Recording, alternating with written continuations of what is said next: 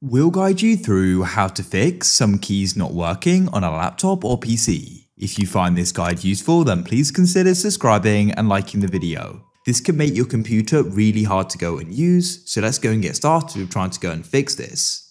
I've got a couple of different methods, so make sure it's this full video. First of all, come down to the bottom of your computer and find the Windows Start button, right click on it and click on Device Manager. Now, what you need to do is go and find Keyboards, and you need to go over to the left, click the arrow to expand it. You'll then go and see some different devices here. Yours may be called something different, but it doesn't matter. What you need to do is go and right click on them, go and click uninstall device and confirm your decision. Then you can go down and do the same thing if there's multiple and do it for them all. I've now gone and done that. Now we can go and close out of this and you want to come down and restart your computer. So press the Windows Start button, go over to the right and press the power button and restart it. Go and see if that solves your problem. If it doesn't, what you want to do is go and look at the keyboard itself and there's not something jamming the key.